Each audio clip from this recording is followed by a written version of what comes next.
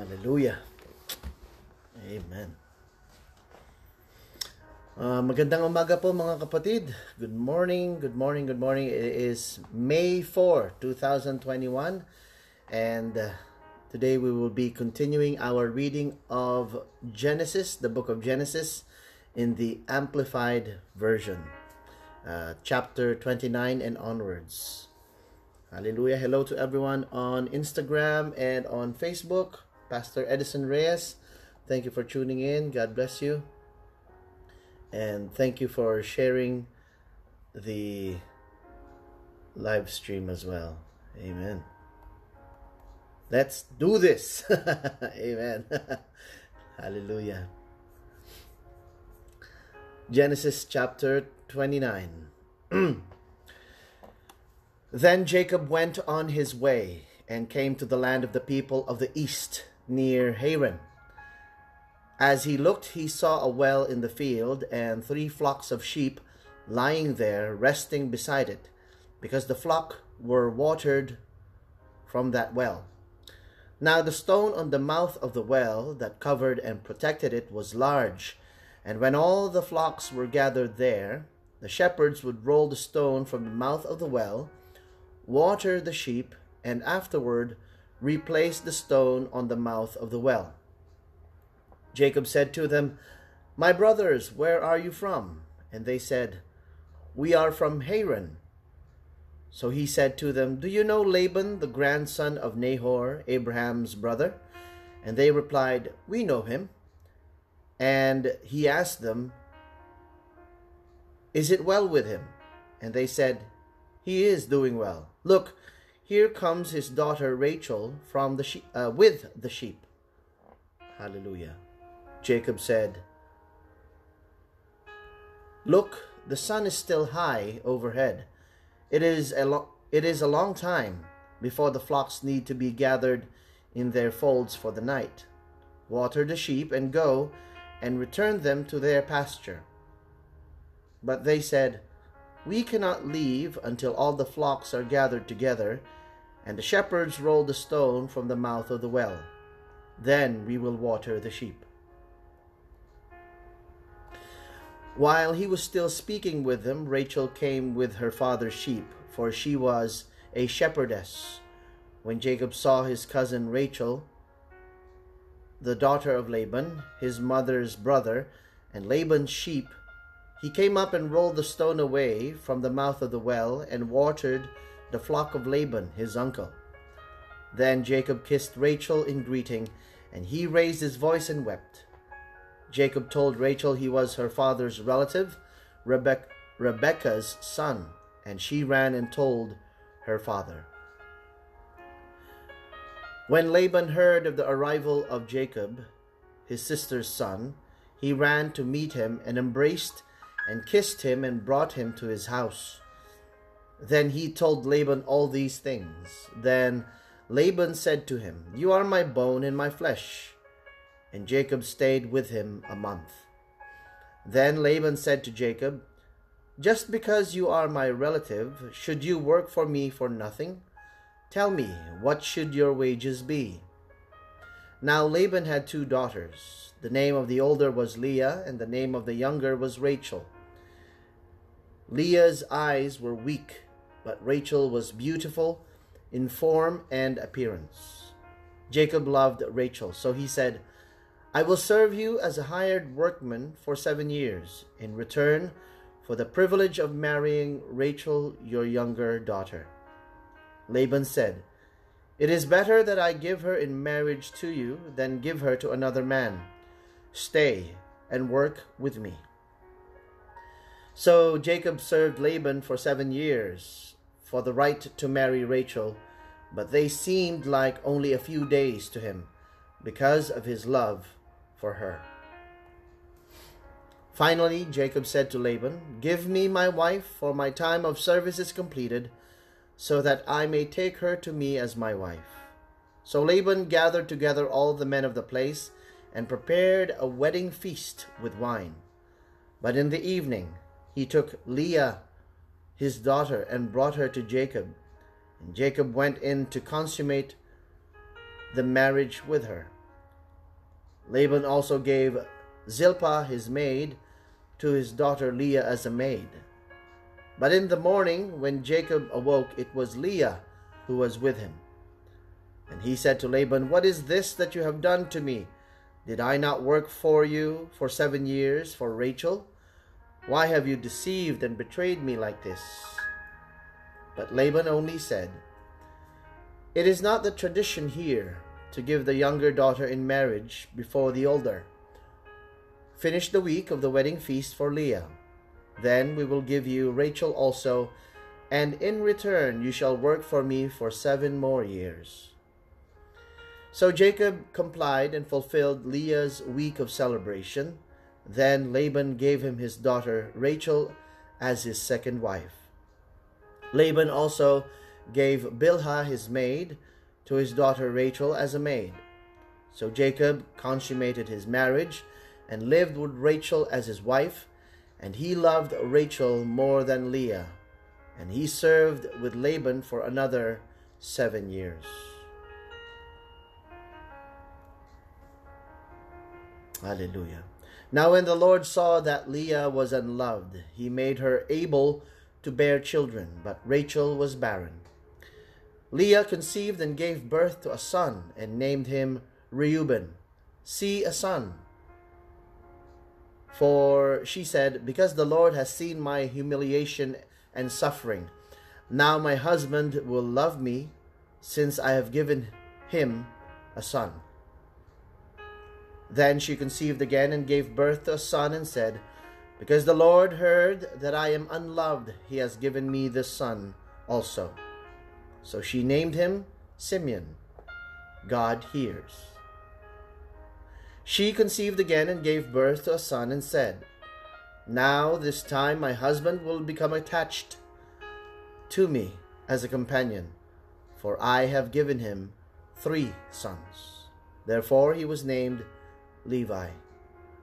Again she conceived and gave birth to a fourth son, and she said, Now I will praise the Lord. So she named him Judah.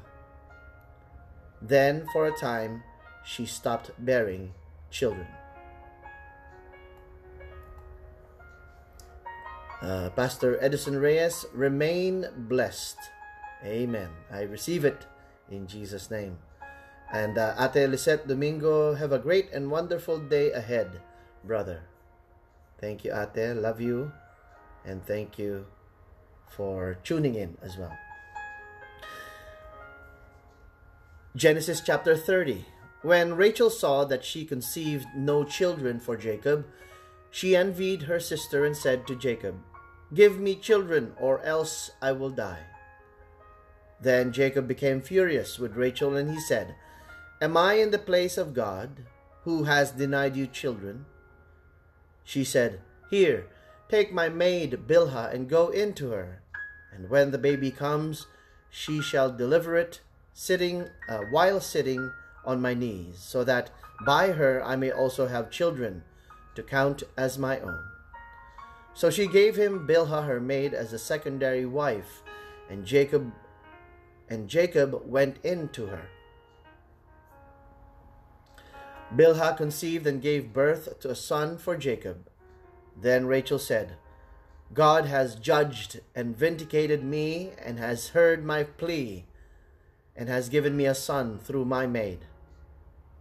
So he so she named him Dan. He judged. Bilhah, Rachel's maid, conceived again and gave birth to a second son for Jacob. So Rachel said, With mighty wrestlings in prayer to God, I have struggled with my sister and have prevailed. So she named him Naphtali, my wrestlings. When Leah saw that she had stopped bearing children, she took Zilpah, her maid, and gave her to Jacob as a secondary wife. Zilpah, Leah's maid, gave birth to a son for Jacob. Then Leah said, How fortunate! So she gave him, uh, so she named him Gad, good fortune. Zilpah, Leah's maid, gave birth to a second son for Jacob. Then Leah said, I am happy for women will call me happy. So she named him Asher, happy. Now at the time of wheat harvest, Reuben, the eldest, the eldest child, went and found some mandrakes in the field and brought them to his mother Leah. Then Leah said to uh, then Rachel said to Leah, Please give me some of your son's mandrakes. But Leah answered, Is it a small thing that you have taken my husband? Would you take away my son's mandrakes also? So Rachel said, Jacob shall sleep with you tonight in exchange for your son's mandrakes. When Jacob came in from the field in the evening, Leah went out to meet him and said, You must sleep with me tonight, for I have for I have in fact hired you with my son's mandrakes. So she slept with her that night. God listened and answered the prayer of Leah and she conceived and gave birth to a fifth son for Jacob. Then Leah said, God has given me my reward because I have given my maid to my husband. So she named him Issachar. Leah conceived again and gave birth to a sixth son for Jacob. Then Leah said, God has endowed me with a good marriage gift for my husband now he will live with me, regarding me with honor as his wife, because I have given birth to six sons. So she named him Zebulun. Afterward, she gave birth to a daughter and named her Dinah. Then God remembered the prayers of Rachel, and God thought of her and opened her womb so that she would conceive. So she conceived and gave birth to a son, and she said, God has taken away my disgrace and humiliation. She named him Joseph, may he add, and said, May the Lord add to me another son.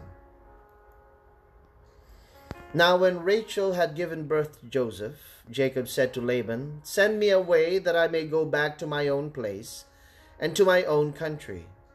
Give me my wives and my children, for whom I have served you, and let me go. For you know the work which I have done for you. But Laban said to him, If I have found favor in your sight, stay with me, for I have learned from the omens in divination and by experience that the Lord has blessed me because of you. He said, Name your wages, and I will give it to you. Jacob answered him, you know the you know how I have served you, and how your possessions, your cattle and sheep and goats have fared with me. For you had little before I came, and it has increased and multiplied abundantly. And the Lord has favored you with blessings wherever I turned. But now, when I shall provide for, uh, but now, when shall I provide for my own household? Laban asked, What shall I give you? Jacob replied, You shall not give me anything, but if you will do this one thing for me, which I now provo- uh, which I now propose, I will again pasture and keep your flock.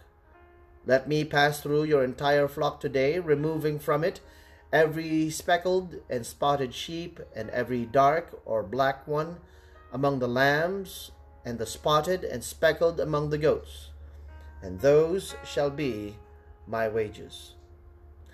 So my honesty will be evident for me later, when you come for an accounting concerning my wages.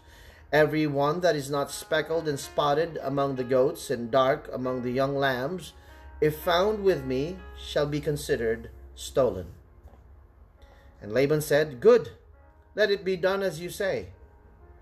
So on that same day, Laban secretly removed the male goats that were streaked and spotted, and all the female goats that were speckled and spotted, every one with white on it, and all the dark ones among the sheep, and put them in the care of his sons. And he put a distance of three days' journey between himself and Jacob, and Jacob was, uh, and Jacob was then left in the care. I'm sorry, and Jacob was then left in care of the rest of Laban's flock. Then Jacob took branches of fresh poplar and almond and plane trees and peeled white stripes in them, exposing the white in the branches. Then he set the branches which he had peeled in front of the flocks in the watering troughs where the flocks came to drink, and they mated and conceived when they came to drink.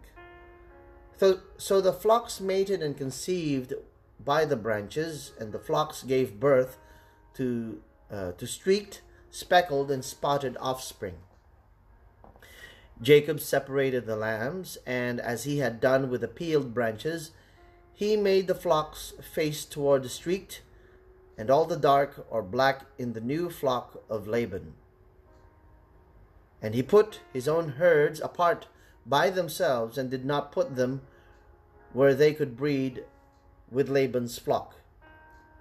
Furthermore, whenever the stronger animals of, of the flocks were breeding, Jacob would place the branches in the side of the flock in the watering troughs, so that they would mate and conceive among the branches. But when the flock was sickly, he did not put the branches there. So the sicker animals were Laban's, and the stronger Jacob's. So Jacob became exceedingly prosperous, and had large flocks of sheep and goats, and female and male servants, and camels and donkeys. Genesis chapter 31 Jacob heard that Laban's sons were saying, Jacob has taken away everything that was our father's, and from what belonged to our father he has acquired all this wealth and honor. Jacob noticed a change in the attitude of Laban and saw that it was not friendly toward him as before. Then the Lord said to Jacob, Return to the land of your fathers and to your people, and I will be with you. So Jacob sent and called Rachel and Leah to his flock in the field, and he said to them, I see a change in your father's attitude, that he is not friendly toward me as he was before. But the God of my father Isaac has been with me. You know that I have served your father with all my strength, yet your father has cheated me as often as possible, and changed my wages ten times. But God did not allow him to hurt me. If I said, The speckled shall be your wages, uh, if he said, The speckled shall be your wages, then the entire flock gave birth to speckled young. And if he said, The streaked shall be your wages, then the entire flock shall uh, gave birth to streaked young. Thus God has taken away the flocks of your father and given them to me. And it happened at the time when the flock conceived that I looked up and saw in a dream that the rams which mated with the female goats were streaked, speckled, and spotted. And the angel of God said to me in the dream, Jacob. And I said, Here I am. He said, Look up and see, all the rams which are mating with the flock are streaked, speckled, and spotted, for I have seen all that Laban has been doing to you. I am the God of Bethel, where you anointed the pillar, and where you made a vow to me. Now stand up Leave this land and return to the land of your birth. Rachel and Leah answered him, Is there still any portion or inheritance for us in our father's house? Are we not counted by him as foreigners? For he sold us to you in marriage and has also entirely used up our purchase price. Surely all the riches which God has taken from our Father are yours and our children's. Now then, whatever God has told you to do, do it. Then Jacob stood and took action and put his children and his wives on camels, and he drove away all his livestock and took along all his property which he had acquired. The livestock he had obtained and accumulated in Padan Aram to go to his father Isaac in the land of Canaan. When Laban had gone to shear his sheep, Rachel went inside the house and stole her father's household goods. Uh, I'm sorry, stole her father's household gods. And Jacob deceived Laban the Aramean, Syrian, by not telling him that he intended to leave, and he slipped away secretly. So he fled with everything that he had and got up and crossed the and crossed the river Euphrates and set his face toward the hill country of Gilead, east of the Jordan River. On the third day after his departure, Laban was told that Jacob had fled. So he took his relatives with him and pursued him for seven days, and they overtook him in the hill country of Gilead. God came to Laban the Aramean in a dream at night and said to him, Be careful that you do not speak to Jacob, either good or bad. Then Laban overtook Jacob. Now Jacob had pitched his tent on the hill, and Laban with his relatives camped on the same hill of Gilead. Then Laban said to Jacob, What do you mean by deceiving me and leaving without my knowledge? and carrying off my daughters as if they were captives of the sword? Why did you run away secretly and deceive me and not tell me, so that otherwise I might have sent you away with joy and with songs, with music on the tambourine and lyre? And why did you not allow me to kiss my grandchildren and my daughters goodbye? Now you have done a foolish thing in behaving like this. It is in my power to harm you, but the God of your fathers spoke to me last night, saying, Be careful not to speak to Jacob, either good or bad. Now I suppose you felt you must go because you were homesick for your father's house and family. But why did you steal my household gods? Jacob answered Laban, I left secretly because I was afraid, for I thought you would take your daughters away from me by force. The one with whom you find your gods shall not live. In the presence of our relatives, search my possessions and point out whatever you find that belongs to you and take it.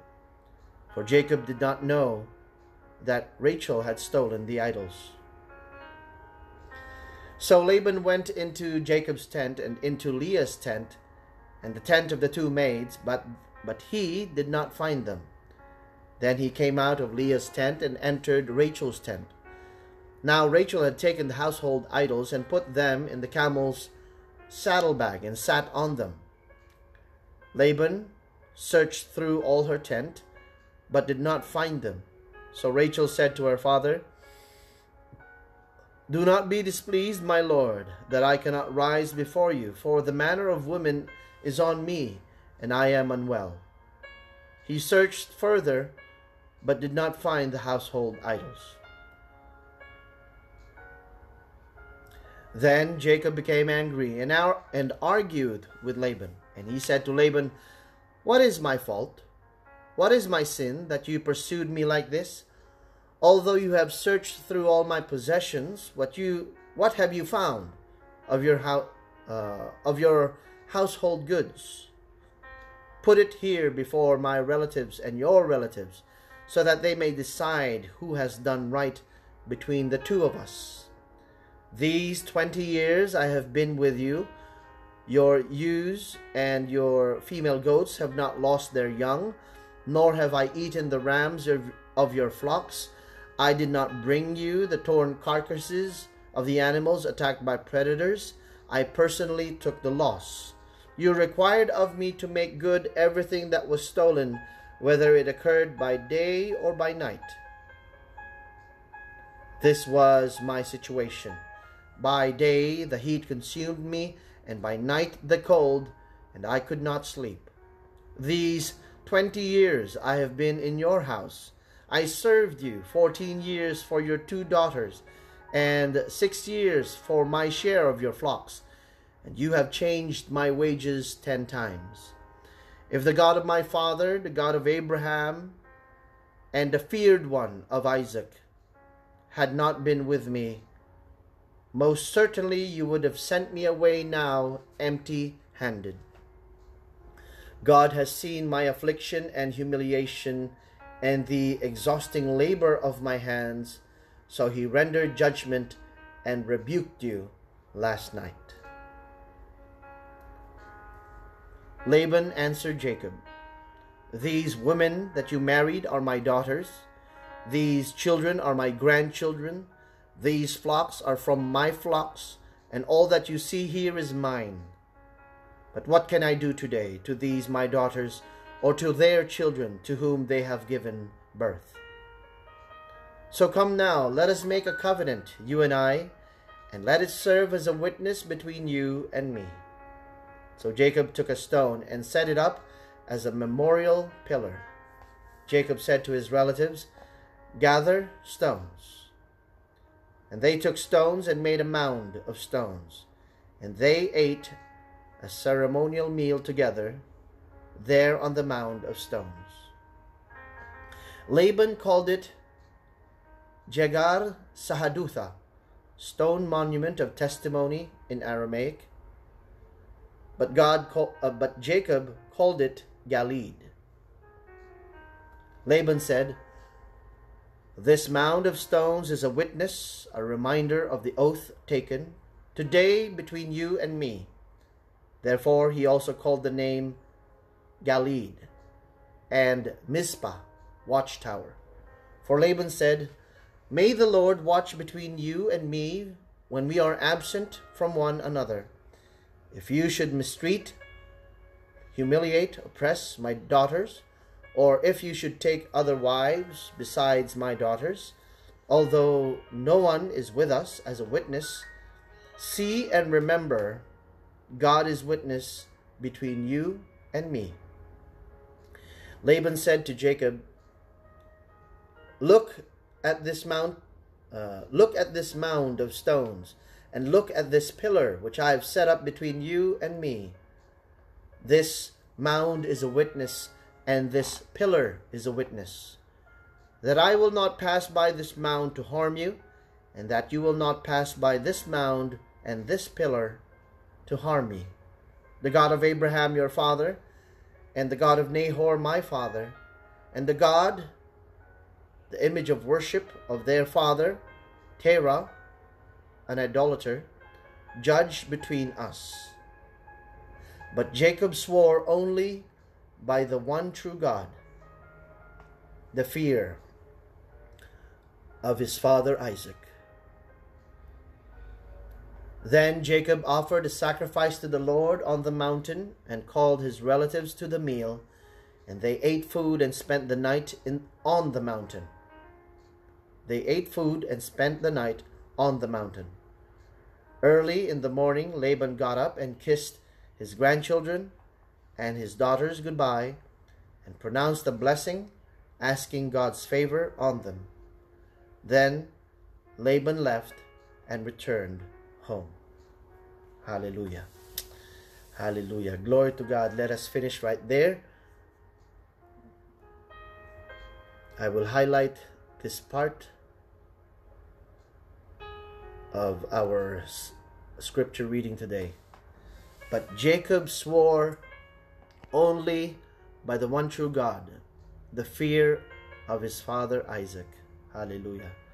May we all, hallelujah, as followers of Jesus, as worshippers of the one true God, dedicate our lives only to Him. Hallelujah.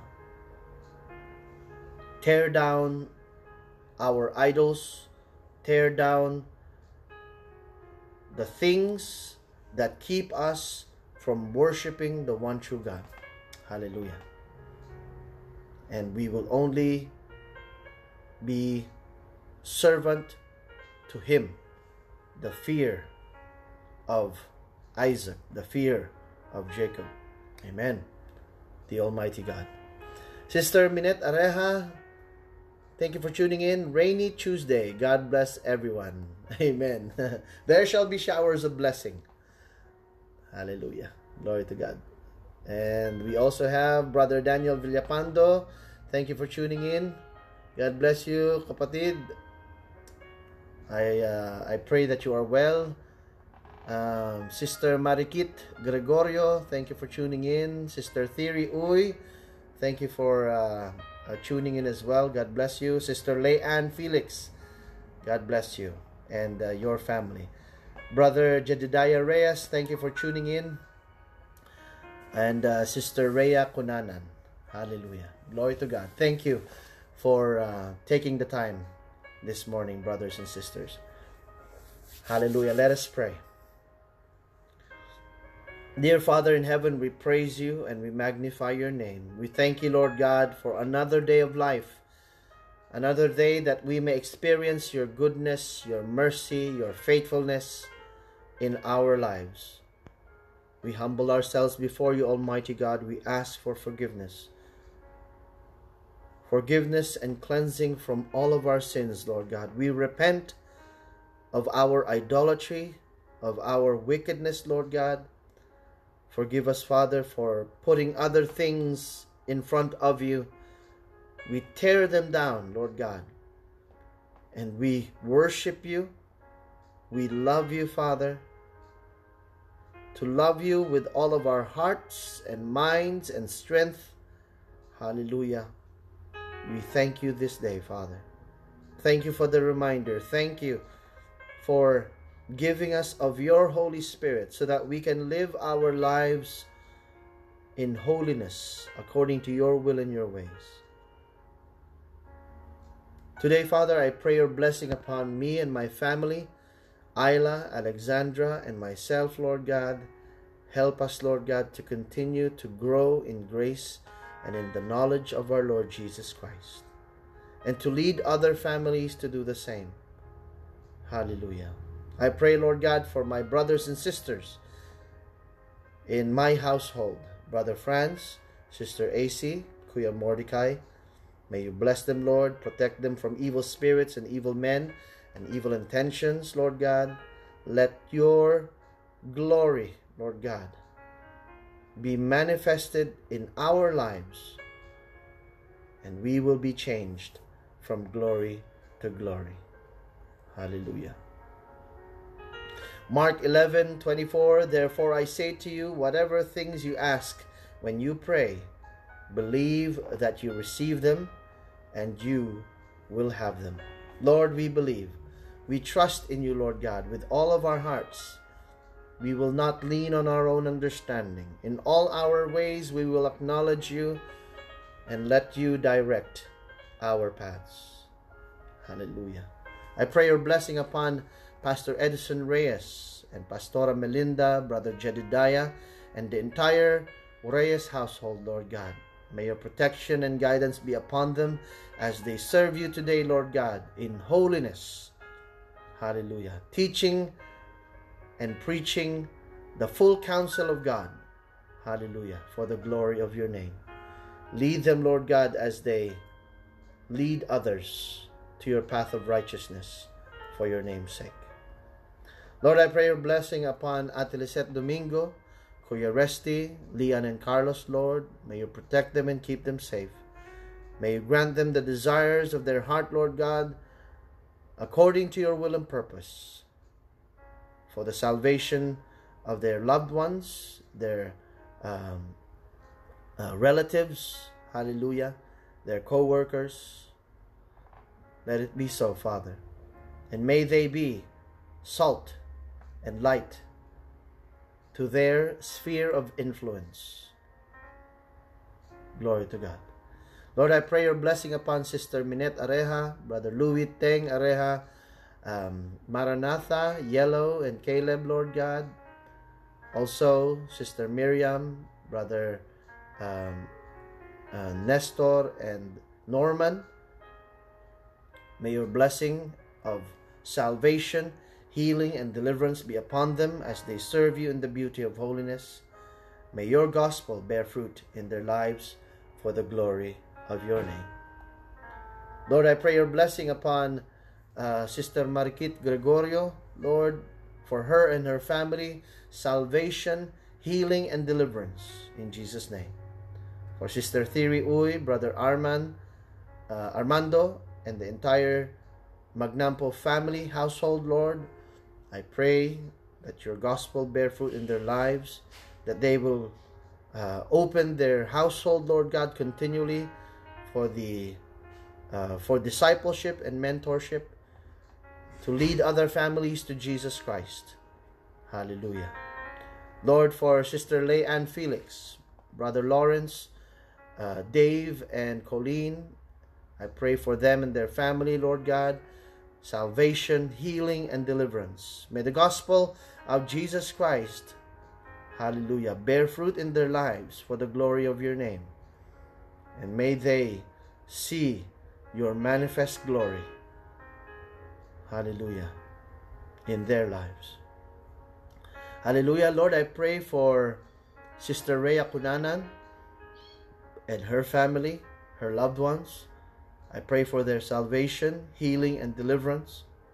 I pray, Father, that uh, as you give them many opportunities to hear your word proclaimed, hallelujah, may their hearts be opened to the gospel, to the truth that Jesus is Lord. For God so loved the world that he gave his only begotten Son, that whosoever believeth in him should not perish, but have everlasting life. And I pray, Lord God, that more and more people, Lord God, will come and join us in this live stream, Father, reading your word daily, praying, Lord God, lifting up holy hands in psalms and hymns and spiritual songs, interceding on behalf of one another, standing in the gap on behalf of one another. Hallelujah. Let your name be glorified. In Jesus' name we pray. Amen. Amen. Thank you everyone for listening. I hope you have been blessed by the reading of God's Word in our prayer today. Uh, thank you to everyone on Facebook and Instagram tuned in. Uh, like I said yesterday, once I finish this recording, I will upload uh, the same video uh, on uh, YouTube. So I have three platforms for which uh, the reading of God's Word is proclaimed.